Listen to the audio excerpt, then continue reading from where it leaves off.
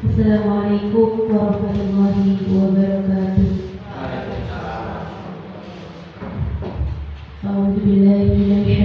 Rajim. Bismillahirrahmanirrahim. Wassalatu wassalamu ala asyrofil anbiya'i wal mursalin walhamdulillahi rabbil alamin. Kepada yang terhormat Bapak Kepala Sekolah SDN Padremes, kepada yang terhormat Bapak Ibu Guru SDN dan kepada yang terhormat Ibu Guru TK Pertiwi Dremes 4. Pertama-tama, marilah kita ucapkan puji syukur kehadirat Allah Subhanahu wa taala karena atas limpahan rahmat, taufik serta hidayahnya kita dapat berkumpul di sini dalam keadaan sehat walafiat dalam acara diseminasi budaya positif di sekolah.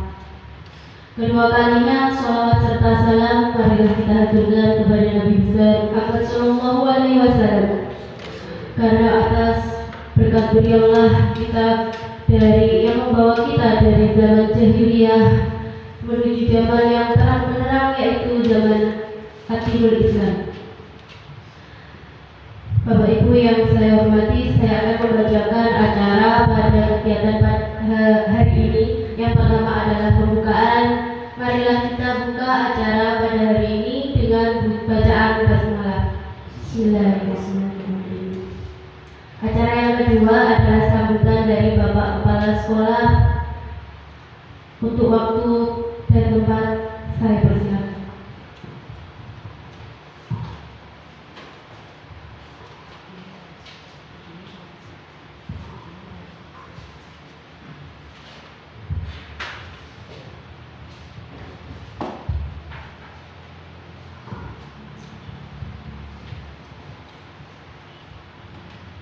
Assalamualaikum warahmatullahi wabarakatuh. Yang saya hormati Ibu Indana dan juga Bu Yuli. Yang saya hormati Bu Ulfa dan juga Bapak Ibu Guru SDN Pandremes. Marilah pada kesempatan yang berbahagia ini kita tidak lupa mengucapkan rasa syukur kehadirat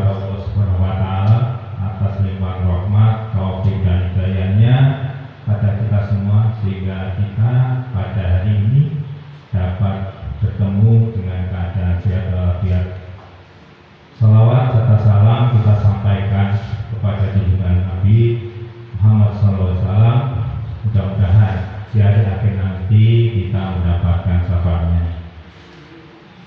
Bapak Ibu semuanya, pada hari ini kita diundang oleh Purba untuk mengikuti kegiatan dari calon dari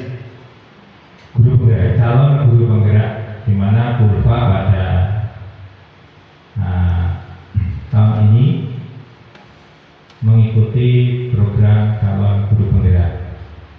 Dengan kegiatan ini, saya kira, nah, mari kita dukung Bulva di dalam mengikuti kegiatan calon guru penggerak sehingga perjalanan untuk menuju sebagai guru penggerak dapat dicapai dengan lancar dan akhirnya nanti mendapatkan hasil yang memuaskan.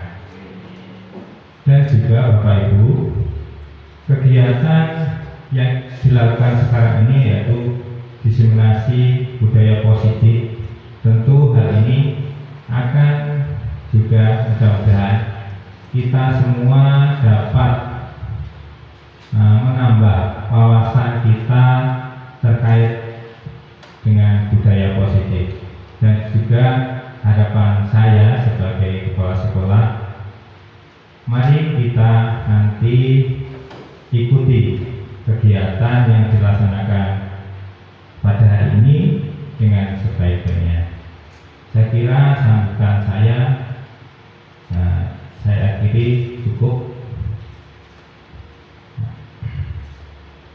Dan marilah Bapak Ibu kita ikuti bersama. akhir kalam. assalamualaikum warahmatullahi wabarakatuh.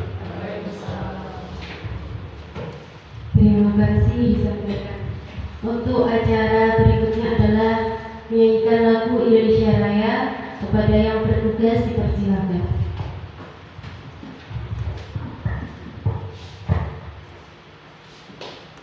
Hadirin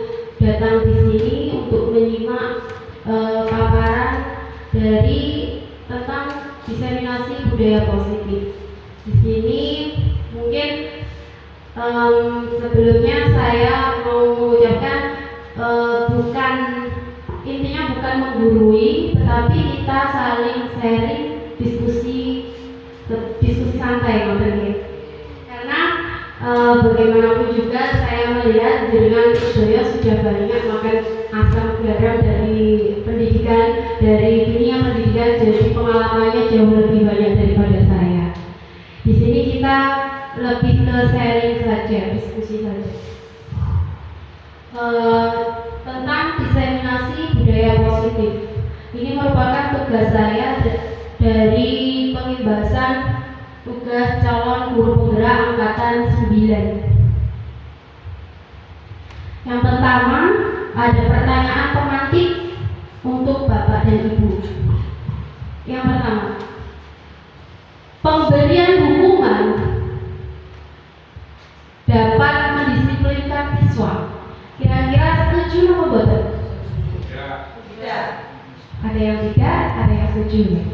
Oke.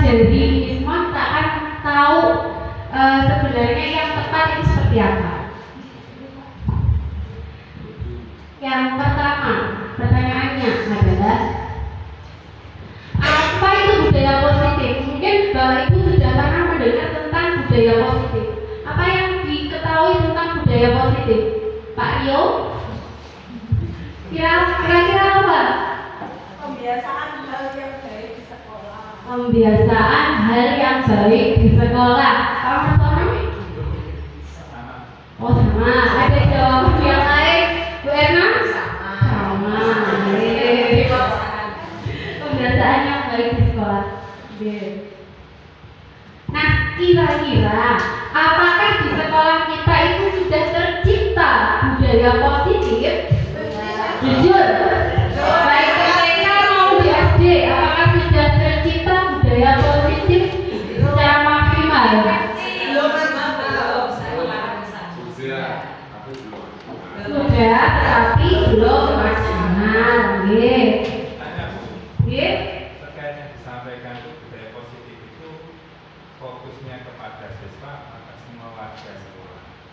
Fokusnya semuanya, baik kepala sekolah, guru, dan juga siswa.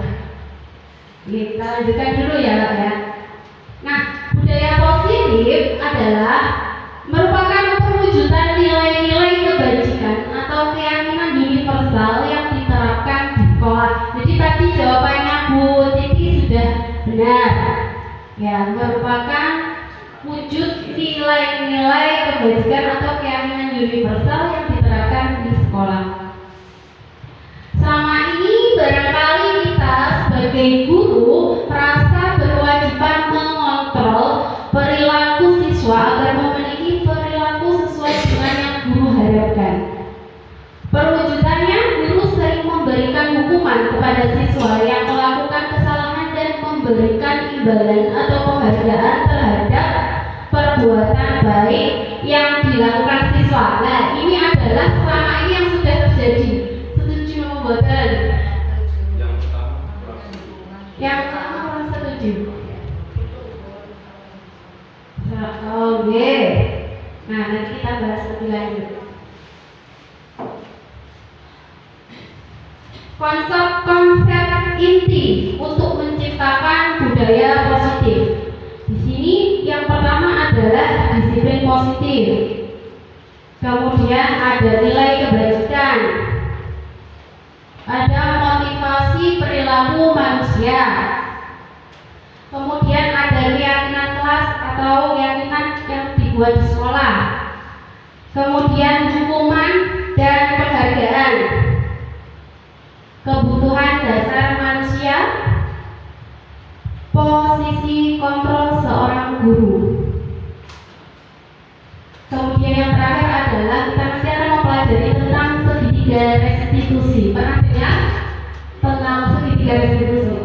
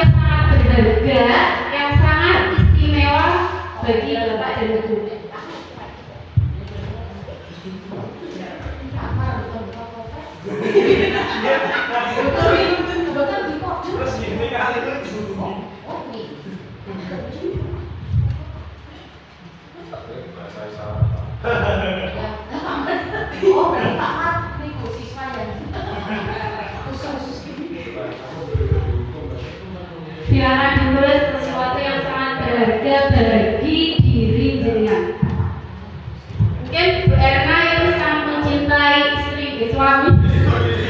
Mencintai suaminya jadi ditulis karena terngiang yang namanya boleh ditulis.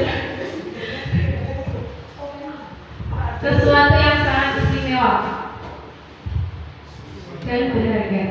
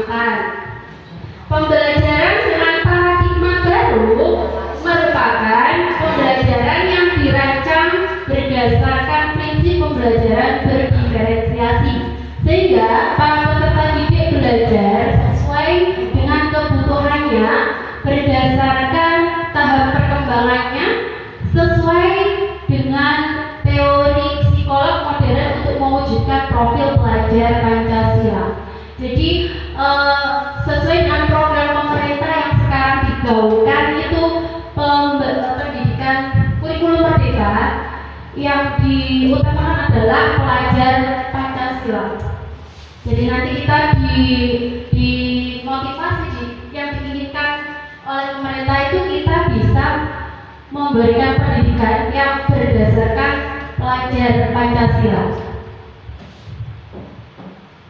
Kemudian pergeseran paradigma teori kontrol. Yang pertama adalah ilusi guru mengontrol murid. Jadi kita selalu berpikir kalau murid itu yang bisa mengontrol adalah gurunya. G?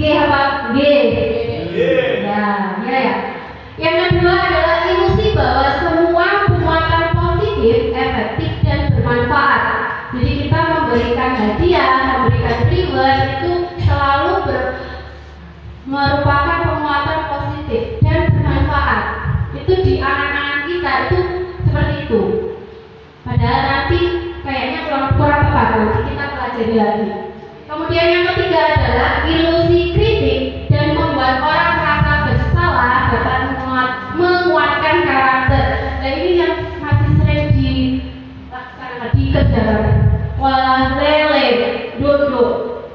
Google é como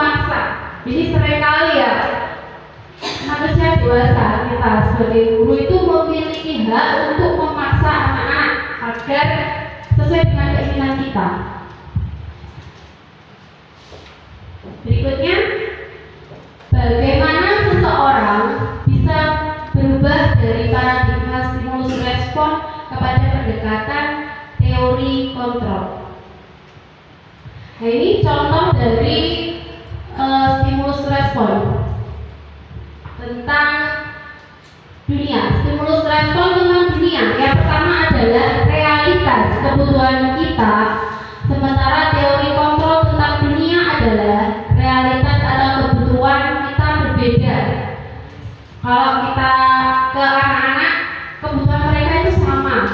Padahal kenyataannya berbeda. Kayak yang di kelas 6 itu ya Pak ya. Semuanya disamakan. Kemampuannya sama padahal tidak sama.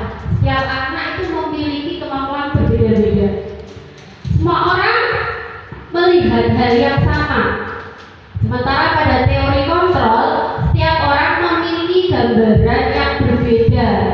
Nah,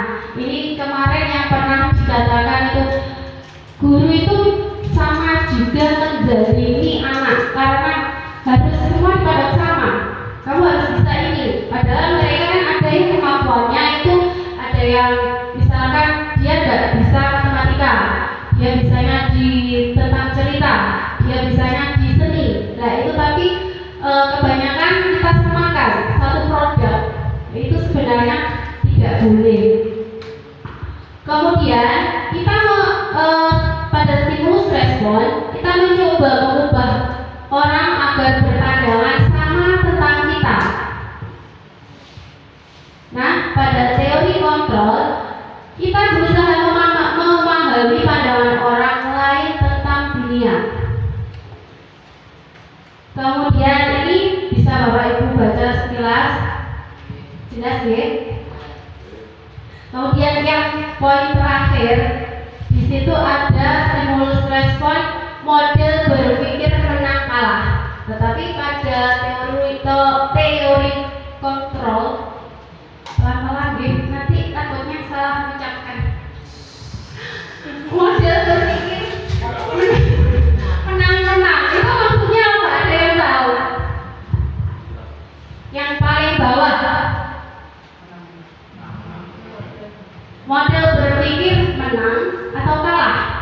Tapi pada teori kontrol tentang dunia adalah model berpikir menang-menang.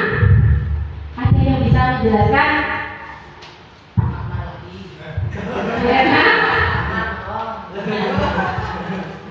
Pak Mar? ya,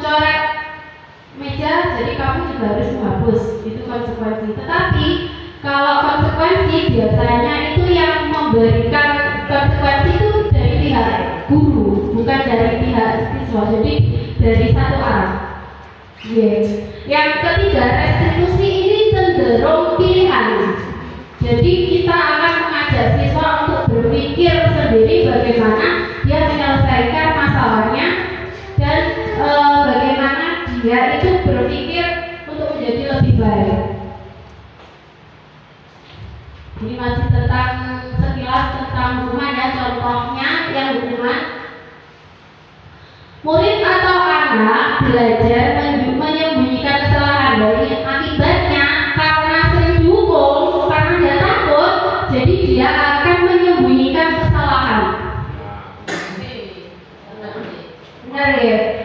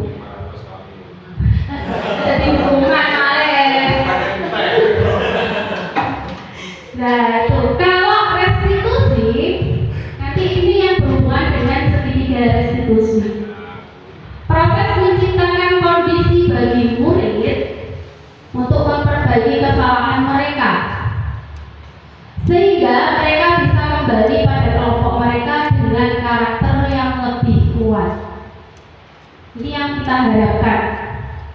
Kalau kita sebagai guru kita harapkan untuk siswa kalau para calon mungkin diharapkan untuk semuanya termasuk gurunya juga.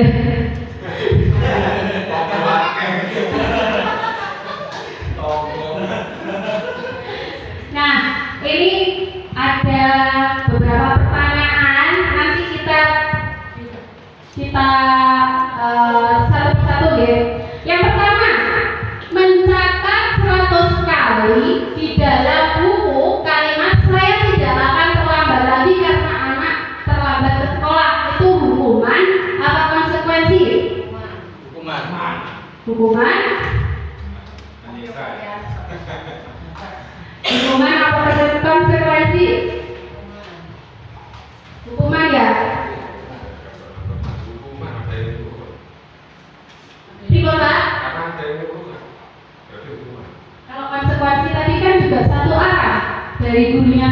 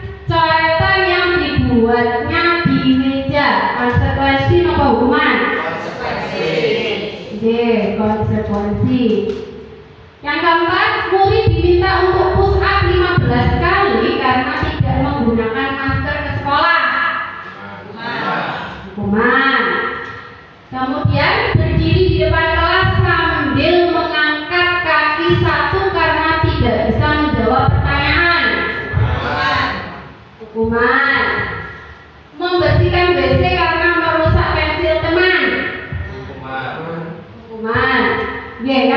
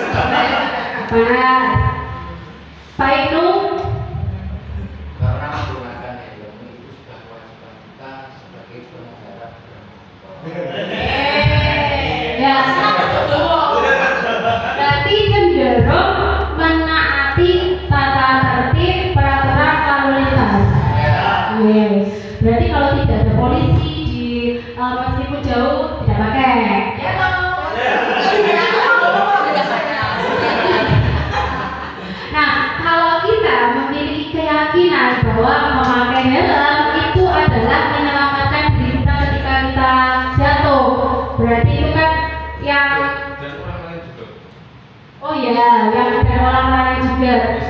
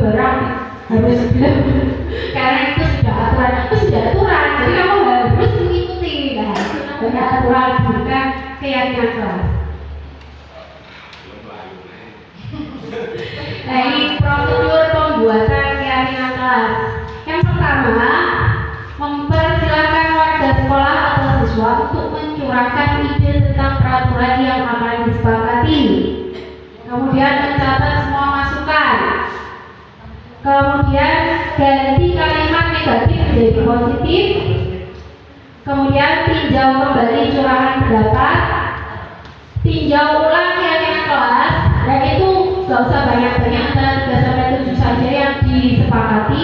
Kemudian baru disepakati dan kita datang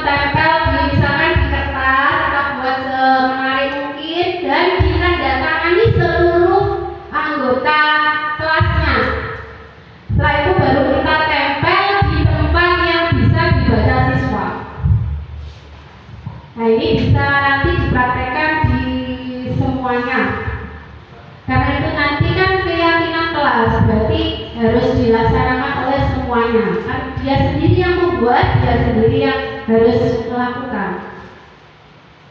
Selanjutnya, lima posisi kontrol guru. Lima posisi kontrol guru. Yang pertama adalah penghukum. Yang kedua, membuat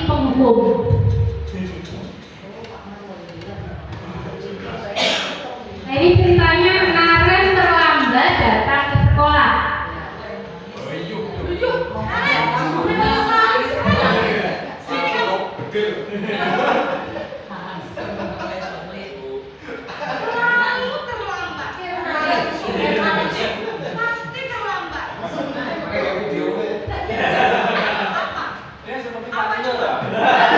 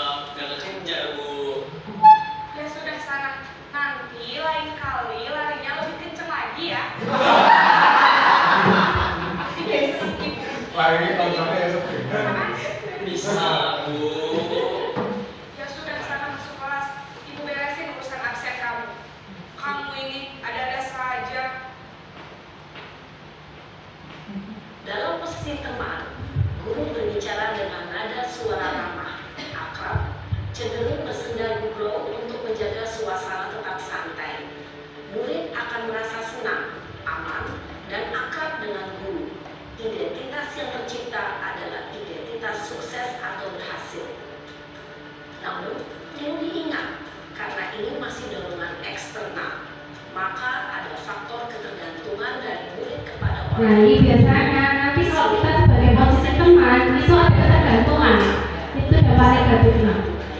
Namun hanya kepada orang-orang tertentu saja. Kalau tidak bilang Pak Guru Kai, Guru Kai tidak mau ngapa-ngapain. Nah itu adalah posisi teman.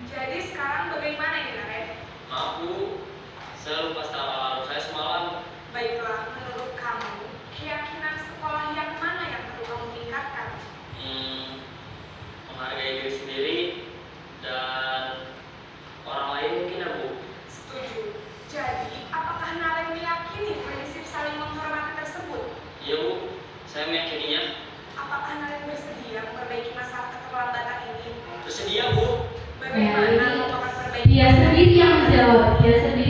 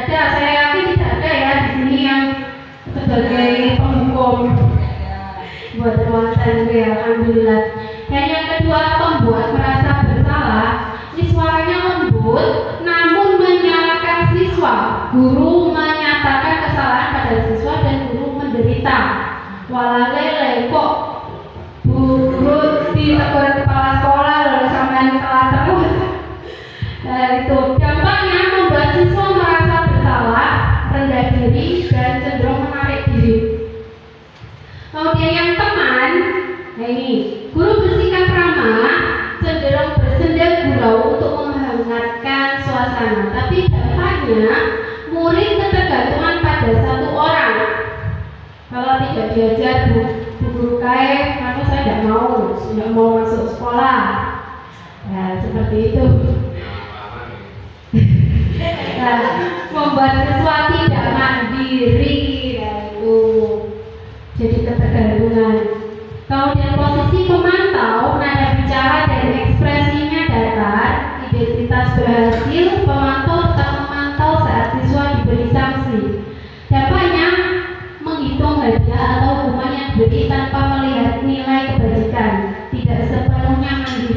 jadi kurang tepat. Dan yang kita harapkan adalah posisi manajer di mana suaranya netral, tercipta identitas positif atau berhasil, mengajukan pertanyaan bermakna, membantu siswa memecahkan masalah. Dampaknya membuat siswa mandiri, siswa dapat memecahkan masalahnya sendiri. Jadi di sini kita di mengusahakan siswa itu mencari solusi dari masalahnya sendiri. Kemudian kebutuhan dasar manusia itu kan ada lima. Yang pertama adalah kebutuhan bertahan hidup seperti sandang, pangan, papan. Kemudian kebutuhan yang kedua adalah kasih sayang dan rasa diterima atau psikologis. Ini kan ada siswa kita yang cenderung kurang kasih sayang pasti perlakuannya berbeda. Biasanya cenderung ngamuk-ngamuk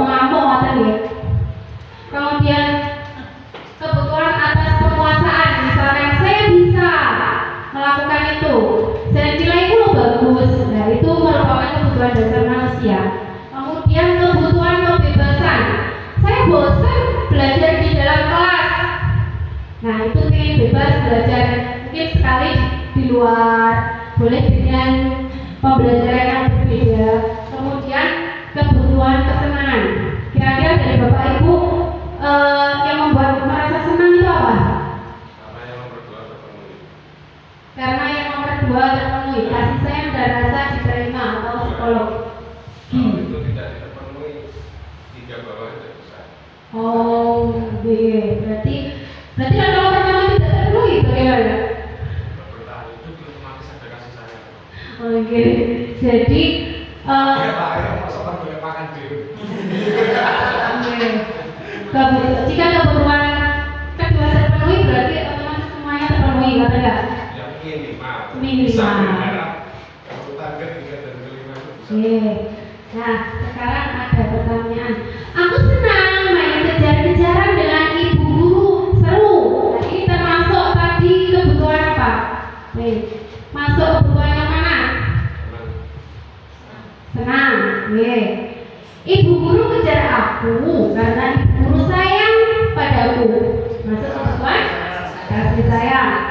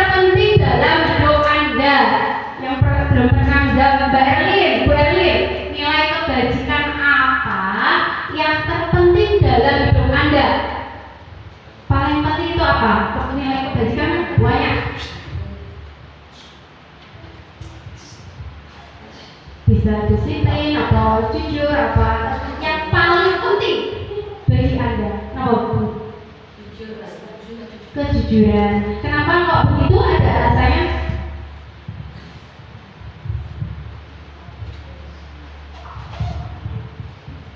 Yeah. Ya karena mungkin kejujuran adalah kunci dari keberhasilan. Ya. Yeah. itu adalah nilai yang terpenting untuk buat Jadi yang lain juga boleh